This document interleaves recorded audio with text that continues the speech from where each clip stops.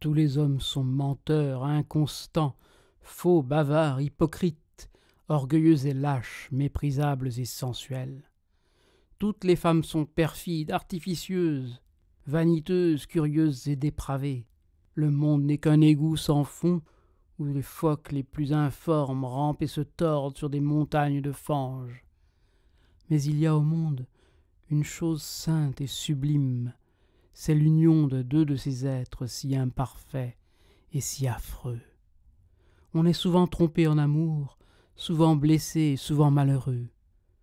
Mais on aime, et quand on est sur le bord de sa tombe, on se retourne pour regarder en arrière, et on se dit J'ai souffert souvent, je me suis trompé quelquefois, mais j'ai aimé. C'est moi qui ai vécu et non pas un être factice, créé par mon orgueil et mon ennui.